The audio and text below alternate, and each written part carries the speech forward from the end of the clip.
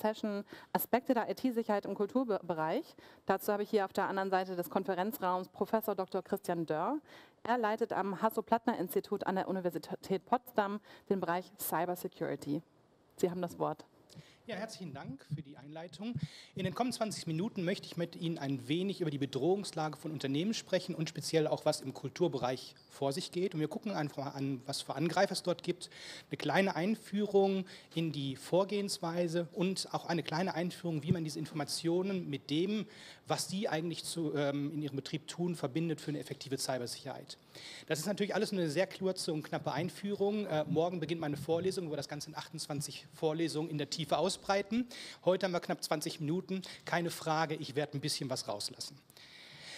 Wenn wir uns einmal mal anschauen, öffentlich bekannte Cybervorfälle in den letzten drei Jahren, habe ich hier einmal eine schöne Visualisierung gezeigt. Das sind Firmen, die mehr als 30.000 Datensätze, also 30.000 betroffene Kunden ähm, verloren haben.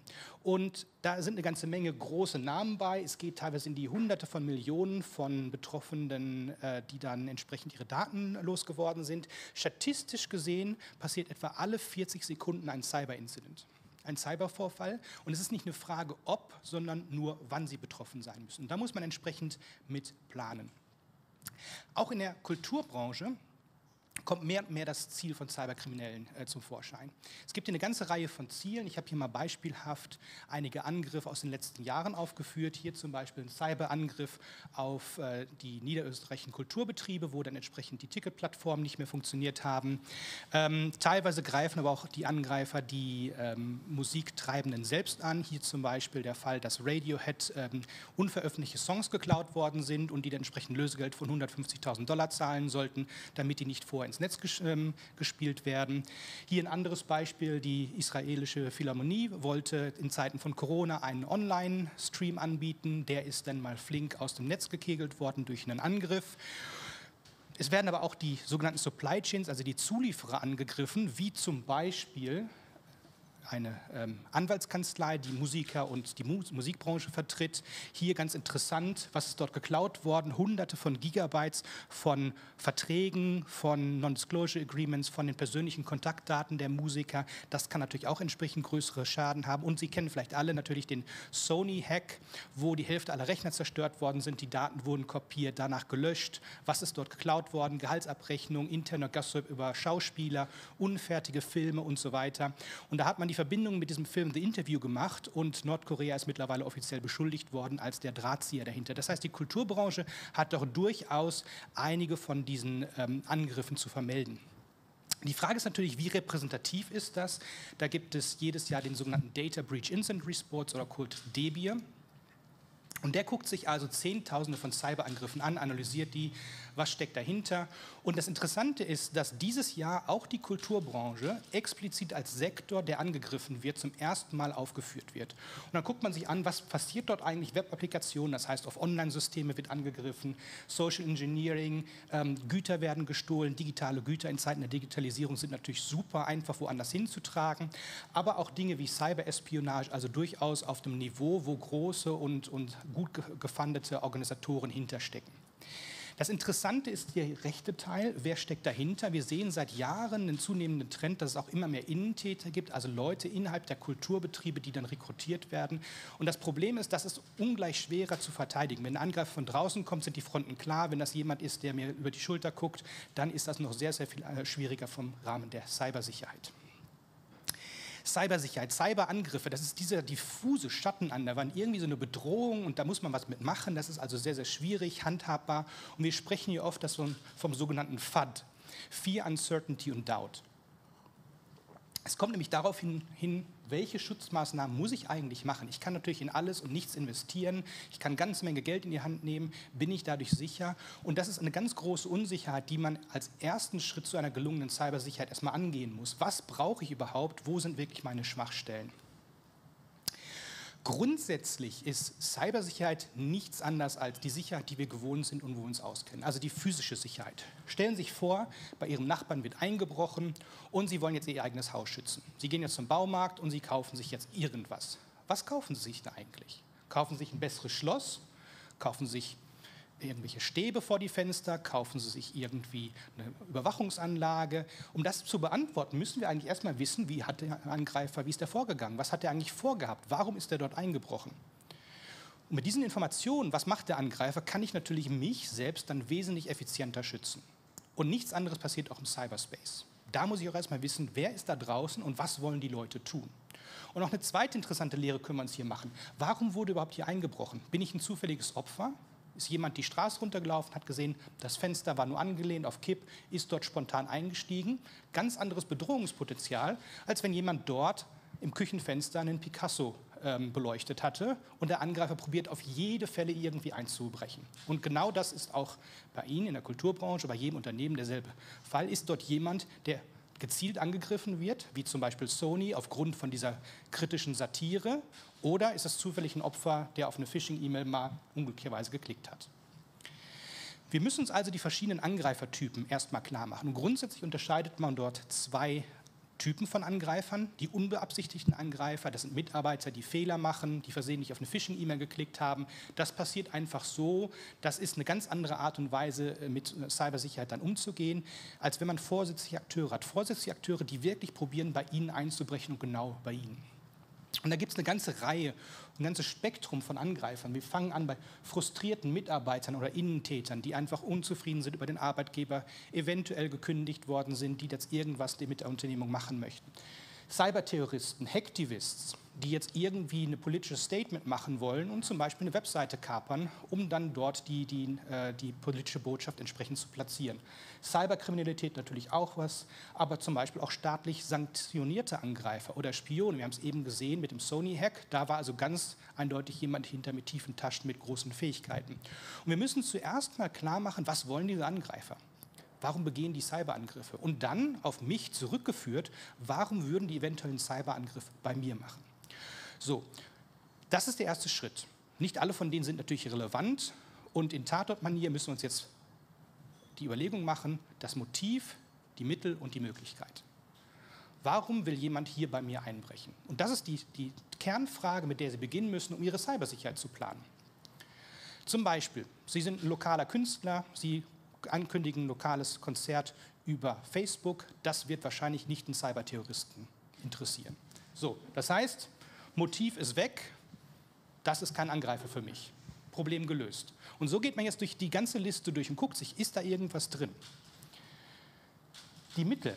Habe ich bestimmte Cybersicherheitsmöglichkeiten, die höher sind als das, was der Angreifer an Fähigkeiten hat, dann ist es überhaupt kein Angreifer mehr, der mir gefährlich werden kann. Und so schließe ich auch entsprechend andere Angreifertypen aus.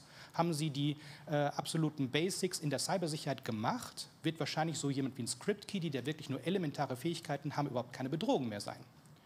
Und dann könnte man zum Beispiel diesen Branch entsprechend auch rausstreichen. Ähm, Und die Möglichkeit, wie kann jemand Zugang zum System erhalten? Was macht er dann? Habe ich da überhaupt Verwundbarkeiten? Wir sehen sehr eindeutig, auch hier können wir etwas ausschließen, indem wir zum Beispiel immer das System aktualisiert haben. Wie oft drücken wir, ach nee, Updates lieber morgen, ich habe gerade keine Zeit dafür. Aber wenn ich keine Verwundbarkeiten in meinem IT habe, dann schließe ich aus, dass jemand eine Möglichkeit hat, einen Cyberangriff zu machen. So, und jetzt für jeden von diesen Angreifertypen muss ich mir überlegen, hm, ist da eventuell etwas da, warum diese Person äh, es auf mich abgezielt haben könnte? Muss ich da entsprechend mit umgehen, was für Mittel hat diese, diese Person und dann entsprechend meine Cybersicherheit planen. So, diese drei M's sind also der Schlüssel, um zu verstehen, ob sich jemand angreifen möchte, aber gleichzeitig, was ich brauche, um mich zu schützen. Um sich aber auch effektiv zu schützen, müssen Sie eine Kernfrage beantworten können. Und das können auch wirklich nur Sie. Bei der Entwicklung und Umsetzung von einem Cybersicherheitskonzept kann man sich inspirieren lassen, kann man externe Hilfe holen. Aber diese Frage ist nur durch Sie zu beantworten. Und die lautet, was sind Ihre Kronjuwelen? Wir nennen das Kronjuwelen in der IT-Sicherheit. Daran hapert es leider in der Praxis. Was sind diese Kronjuwelen? Das sind die essentiellen Aktivitäten, die unbedingt aufrechterhalten werden müssen. Das sind Aktivitäten, das sind Daten, das sind Kenntnisse Ihrer Mitarbeiter, das sind Systeme. Und ohne diese Kronjuwelen ist der Fortbestand der Organisation entsprechend beschädigt und kann eventuell nicht fortgesetzt werden. Das ist die essentielle Sache. Ich muss mir erstmal klar werden, was habe ich, was A, jemand anderes haben möchte, diese Angreifer, über die wir eben gesprochen haben, und B, was, wenn es mir verloren geht, ich den Laden dicht machen kann. Ja, und das können verschiedenste Arten von Dingen sein, das können irgendwelche Systeme sein, das können Kundenkarteien sein. Wenn ich ein selbstständiger Autor bin, freischaffender Autor, sind es eventuell meine, meine ähm, Manuskripte, die ich schreibe. Wenn mir die abhanden kommen, brauche ich nicht mehr morgen weitermachen. So, und für diese muss ich jetzt ein Schutzkonzept erstellen. Weil grundsätzlich, ich kann natürlich alles schützen und äh, mir in, im, im, im, Laden alles kaufen, was ich möchte, aber die Frage ist, ist das nützlich? Ich kann unendlich viel Geld ausgeben, aber das ist nicht der Sinn und Ziel der Sache. Sinn und Ziel und Zweck einer guten Sicherheitsplanung ist, sich zu überlegen, was habe ich, was mir schmerzen würde, wenn es weg wäre, was jemand anders haben möchte und muss diese Teile entsprechend schützen. So ist das Geld wesentlich besser identifiziert. Ich weiß nicht genau, was Sie machen. Ich habe es einfach mal hypothetisch für einen Kulturschaffenden vielleicht im, am Rahmen einer Bühne ähm, gemacht. Es gibt zum Beispiel Dienste, wie zum Beispiel eine Webseite, Präsenz in sozialen Medien. Es gibt vielleicht eine Plattform, wo Videostreaming einer Vorstellung gemacht wurde. Das sind klare, essentielle Punkte. Wenn die schieflaufen, geht der normale Geschäftsbetrieb nicht weiter. Es gibt aber vielleicht Prozesse, wie zum Beispiel ein Online-Buchungssystem, es gibt aber auch Kommunikationskanäle, zum Beispiel mit den Künstlern, aber auch ganz subtil mit der Bank. Wenn der Kommunikationskanal zur Bank unterbunden ist und ich nicht mehr E-Banking machen kann, wie bekommen meine Mitarbeiter an der Stelle ihre Lohnfortzahlung? Da scheitert es dann. Aber auch Daten, zum Beispiel Kulturgüter und diesen großen Punkt operative Geschäftsdaten, also alles, was von der Steuer bis hin zur Gewerbeanmeldung und, und, und. Und jetzt kann ich mir überlegen, drei Schutzziele. Vertraulichkeit, die Daten sind nur durch die zu erkennen und zu lesen, die da auch dran gehören. Integrität, niemand kann die Daten verändern. Und Verfügbarkeit, die Daten sind da, wenn ich sie wirklich nutzen möchte. Und jetzt kann ich durch alle meine Kronjuwelen durchgehen und kann sagen, was könnte denn eigentlich hier passieren? Ganz konkretes Beispiel, so eine Webseite. Was könnte jemand probieren? Er könnte probieren, die Webseite einfach aus dem Netz zu kegeln, die Verfügbarkeit zu, unter zu unterbrechen. Gut, das ist dann Schutzziel, Verfügbarkeit entsprechend äh, gestört. Man könnte aber auch die Integrität schädigen. Das heißt, man könnte die Webseite hacken und dort irgendwelches rufschädigendes Material drauf machen. Unterschiedliche Aktoren werden sich für unterschiedliche Dinge entscheiden. Zum Beispiel meine Skriptkiddies, die einfach nur Schaden machen möchten oder die Cybervandalen, die werden vielleicht probieren, die Webseite zu zerbrechen. Der Hacktivist wird eventuell probieren, irgendwelches rufschädigendes Material darauf zu platzieren und so weiter und so fort. Ich muss jetzt für alle Aktoren, die ich vorher gesehen habe, die sind relevant für mich, kommen dann entsprechend durch meine Liste durch und sage, was könnten die mir eigentlich antun? Was würde mir wirklich schmerzen? Und ich gehe durch die gesamte Liste durch, zum Beispiel die Videostreaming-Plattform. Das Konzert könnte unterbrochen werden. Jemand könnte da irgendwie seine eigenen Inhalte reinschmuggeln. Die, das Online-Buchungssystem. Man könnte zum Beispiel die Anmeldedaten klauen. Ähm, letzten Monat ganz ähm, präsent passiert bei einer Sicherheitskonferenz, wo jemand sich eingehackt hat und sämtliche Anmeldedaten von allen registrierten Teilnehmern entwendet hat, ist natürlich A eine Riesenpeinlichkeit und B auch ein, ein Datenschutzverstoß und dann entsprechend auch ähm, äh, mit, mit Schäden und mit Strafen verbunden. Man könnte Buchungen verändern, man könnte den Vorverkauf stören, aber zum Beispiel auch, wenn Sie ein elektronisches Ticketsystem haben, was machen Sie, wenn das Haus voll ist und niemand Ihnen sagen kann, ob die Tickets gültig sind oder nicht? Das ist ein klarer Angriff auf die Verfügbarkeit und von entsprechenden Akteuren eventuell eine interessante Möglichkeit, ihren Betrieb zu stören konkret beim Kommunikationskanal. Man kann Daten klauen, man kann Daten verändern, man könnte auch die Verfügbarkeit stören, dass zum Beispiel die Mitarbeiter nicht mehr ihr Gehalt bekommen. All das sind Probleme. Die Kulturgeuter, wir haben es eben gesehen, ähm, die Radiohead, die entsprechend, ähm, die, die, die unveröffentlichten Songs geklaut worden sind, vor Veröffentlichung, da ist ein Problem der Vertraulichkeit. Man könnte aber auch die Daten einfach verlieren, sodass man sie nicht mehr hat. So, und jetzt geht man durch diese verschiedenen Dinge durch und guckt sich einfach, naja, Daten, was habe ich? Das könnte zum Beispiel ein Autor sein mit einem Buchprojekt, das könnte ein Drehbuch sein, das könnte eine Musik- oder eine Filmaufzeichnung sein. Man muss sich jetzt überlegen, was hat man, was für Schutzziele brauche ich und für die verschiedenen Angreifertypen, was kann hier passieren? Und jetzt gehe ich mit diesem Wissen in meinen nächsten Schritt der Sicherheitsplanung. Ich habe drei Kernbausteine. Das eine sind präventive Maßnahmen. Ich probiere irgendwas zu verhindern, dass es überhaupt passiert. Ich habe detektive Maßnahmen. Ich muss mir überlegen, wenn es passiert, wie sehe ich das überhaupt, dass irgendwas schief läuft? Und reaktive Maßnahmen. Das heißt, ich muss irgendwie verhindern, dass das Problem größer wird. Und das sind die drei Kernbausteine, wie man sich jetzt überlegt, sicher zu bleiben. Und das klingt abstrakt, aber das machen Sie im, im jeglichen Tag von automatisch. Wenn man sich das überlegt, Sie haben eine Küche und Sie kochen mit Gas und das Feuer. Und damit das Haus nicht abbrennt, habe ich um die, die Kochstelle herum nichts anderes Brennbares. Ganz triviales möglich, aber das ist nichts anderes als eine präventive Maßnahme, das Verhindern des Vorfalls. Jetzt sagt jeder, ah, ja, ne? Cybersecurity kann so einfach sein. Im Prinzip kein Feuer entstehen lassen. Ich habe einen Rauchmelder, der meldet, wenn irgendwas passiert ist und wenn es passiert ist, habe ich einen Feuerlöscher oder die Feuerwehr. Ja? Und diese drei Komponenten muss ich mir entsprechend machen. Wie kann ich verhindern, dass es zum Schaden kommt? Wenn es zum Schaden kommt, wie sehe ich den Schaden und wie kann ich den Schaden, wenn er passiert ist, möglichst gering halten? Diese drei Argumente gucke ich mir entsprechend an und gehe durch meine Kronjuwelen durch und probiere aus, was kann ich jetzt machen. Wie gesagt, das ist eine Aufgabe die Sie zu Hause machen müssen für Ihren Betrieb. Das ist absolutes Maßwerk für jeden. Aber wir gucken uns das mal mit dem Beispiel dem Verlust digitaler Inhalte an. Also zum Beispiel diese Drehbücher, die Musik- und Filmaufnahmen und ähnliches. Schutzziel Verfügbarkeit, die Daten gehen mir verloren. Warum können die verloren gehen? Was muss ich da machen? Idee ist erstmal Backup. Okay, sollte jeder machen, hat natürlich auch jeder gemacht. Finger gekreuzt. Wir sind da wahrscheinlich so gut drin, wie mit den äh, Updates täglich wegzuklicken. Aber was könnte hier passieren? Schadensszenario A. Ich habe eine defekte Hardware. Ich habe meinen Laptop, auf dem ich arbeite. Der Laptop ist kaputt gegangen. Ich muss ihn jetzt einschicken. Was könnte passieren? Nein. Jemand könnte den Rechner reparieren, sieht, die Festplatte ist kaputt, tauscht sie aus, schickt den Laptop zurück, die Daten sind weg, Sie haben glücklicherweise ein Backup. Aber was passiert denn eigentlich mit der Festplatte, die ausgetauscht worden ist? Die kommt eventuell auf eBay oder in den Weiterverkauf. Und das ist in der Tat schon vorgekommen. Fragen Sie mal die Zulassungsstelle Coburg, denen dann genau das Problem passiert ist. Der Rechner wurde zurückgeschickt und die Festplatte ist entsprechend auf eBay aufgetaucht. So, das heißt, was müsste ich jetzt machen? Ich verschlüssele meine Datenträger inklusive meines Laptops. Grundvoraussetzung, Grundvorsichtsmaßnahme. Oder jemand bricht bei Ihnen ein, klaut Ihnen sämtliche Rechte und sämtliche ähm, Datenträger. Dann hilft mir Verschlüsselung, aber gleichzeitig muss ich auch noch eine Kopie außerhalb haben. Cyberkriminalität, jemand probiert eine Ransomware, ähm, verschlüsselt sämtliche Daten, die Sie haben, legt Ihren Betriebnamen. Sie brauchen Backups, damit auch auf nicht löschbaren Medien, also etwas, was nicht überschrieben werden kann. Und wichtig, die Cloud ist kein Backup. Die Ransomware, die Trojaner verschlüsseln auch ganz munter die Cloud durch, das hilft ihnen nicht. Das heißt, sie brauchen irgendwie eine Kassette, eine CD, einen Tape und legen das entsprechend in ihren Panzerschrank. Welche Maßnahmen stehen Ihnen zur Verfügung? Da gibt es als Inspiration zum Beispiel vom BSI den sogenannten Grundschutzkatalog. Hier sehen Sie, sind 4000 Seiten mit Ideen, wo man durchflippen kann, sagt, okay, das könnte ich machen, das könnte ich nicht machen. Das ist so, dass man sich alles überlegen kann. Und da muss man wirklich durchgehen mit seinem Maßnahmen, was habe ich eigentlich, was macht für mich Sinn. Und wenn Sie nachher 100 Seiten implementiert haben oder 50, ist das wahrscheinlich ausreichend, aber das kann man alles machen.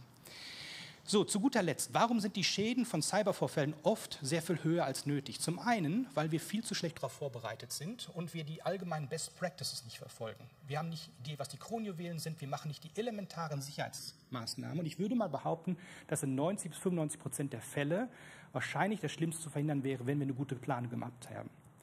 Punkt zwei, wir haben kein Notfallmanagement. Wenn es wirklich dazu kommt, dass das Online-Ticketing-System ausfällt, was mache ich den Abend dann an der, an der Theaterkasse? Das heißt, ein, im Vorfeld eine Planung, wenn es zum Ausfall kommt, wie kann ich mich an der Stelle retten? Das hilft dann entsprechend Tage zu sparen. Wenn man sich guckt, das aktuelle Bedrohungsbild von der Europäischen Sicherheitsagentur und wir gehen mal hier durch diese Liste durch von 15 großen Bedrohungen für Unternehmen, sehen wir, dass die meisten sich irgendwie mit den Menschen beschäftigen. Sowas wie Malware, Ransomware und, und ähnliches die zielen alle auf den Menschen ab. Das heißt, der Mensch ist eigentlich das schwachste Glied dieser Kette, aber auch gleichzeitig der beste Schutz. Weil wenn man sich mal anguckt, auch hier ein anderer Report, der angeguckt hat, wie effektiv sind technische Maßnahmen, in den meisten Fällen sind die nützlich, aber doch nicht so nützlich, wie man das denkt. Das heißt, nur weil ich einen Virenscanner habe, heißt das noch nicht, dass ich mich entsprechend unachtsam verhalten kann. Besser andersrum, wenn Sie aufpassen, brauchen Sie auch keinen Virenscanner. Sollten Sie trotzdem haben, aber im Prinzip als allgemeine Maßnahme. Das heißt, Schwachstelle Mensch, Mensch, gleichzeitig Sicherheitsfaktor Mensch. Man muss sehen, dass der Mensch viel besser ist, Cyberkriminalität, Cyberangriffe zu erkennen. Viren verändern sich kontinuierlich. Wir haben Hunderttausende von neuen Viren pro Tag. Die kommen gar nicht hinterher, diese Virenscanner. Aber wenn Sie eine Phishing-E-Mail bekommen, die Ihnen entsprechend suspekt aussieht, wo Sie mit gesundem Menschenverstand sagen, hm, das kommt mir komisch vor. Lieber nicht draufklicken, entsprechend jemanden warnen, das ist wesentlich effektiver als alles andere. Und zu guter Letzt, was muss man machen? Man muss eine Sicherheitskultur im Unternehmen schaffen, insbesondere in größeren Organisationen, dass die Leute sich selbst für die Sicherheit verantwortlich fühlen. Viel zu oft wird Sicherheit auf die IT abgeschoben und die Leute sagen, ach, ich brauche nur einen arbeitsfähigen Rechner. Aber jeder ist ultimativ das Einfallstor einer modernen Organisation, weil jeder die Außendarstellung hat. Jeder ist auf der Webseite gelistet, jeder ist in Online-Medien aktiv, jeder hat irgendwelche Geräte, die er reinbringt, jeder empfängt E-Mails. Das heißt, Sie sind die Außenfassade des Unternehmens, die entsprechend angegriffen werden. Jeder muss sich verantwortlich fühlen. Und das ist das Interessante, was wir noch nicht geschafft haben in IT-Sicherheit im Arbeitsschutz wohl. Wenn Sie fragen, wer ist hier verantwortlich für Arbeitsschutz, sagt jeder, ja, ich bin auch dafür verantwortlich in IT-Sicherheit. Schieben wir das irgendwie ab zur IT-Abteilung als unliebsames Ding. Das heißt, hier Sicherheitskultur etablieren, die Leute mitnehmen und die Leute rekrutieren, da das Beste für zu machen. Ich danke Ihnen herzlich für die Aufmerksamkeit. Bleiben Sie gesund und vor allen Dingen bleiben Sie sicher.